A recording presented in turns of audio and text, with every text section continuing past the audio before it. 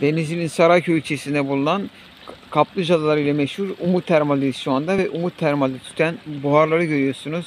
Türkiye'nin jeotermal enerjiyle ısındığı nadir yerlerden biri olan Sarayköy'de bulunan Umut Termal'de tüten buharları görmektesiniz. Ee, daha önce Cumhurbaşkanımız, şu anki Cumhurbaşkanımız Recep Tayyip Erdoğan da kendisi burada belli bir süre misa- misafir olmuştu. Ee, eğer size gelirseniz bu Sarayköy'ün eşsiz güzel güzelliği ve manzarasıyla faydalanabilirsiniz. Kaplıcalarıyla, termalleriyle, şifalı sularıyla karşılaşabilirsiniz ve size bir 360 derecelik açıyla Umut Termali gösterelim.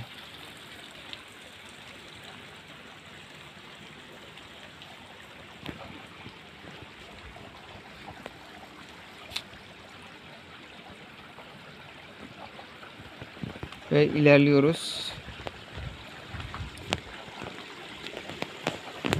Korona günlerinde salgın hastalıktan dolayı ge- ziyaretlere kapalı olsa da e, şu anda burası boş. Normalde çok yoğun olduğu görülmekte. Yani normal zamanlarda çok yoğun. Şu anda pandemi salgın hastalık dolayısıyla eee, burada bir sakinlik var, sessizlik var. Normalde buralar gürültülü, sesli, kalabalık. Evet Denizli'nin meşhur kaplıcası Umut Termal'den selam ve muhabbetlerimizi sizlere gönderiyorum.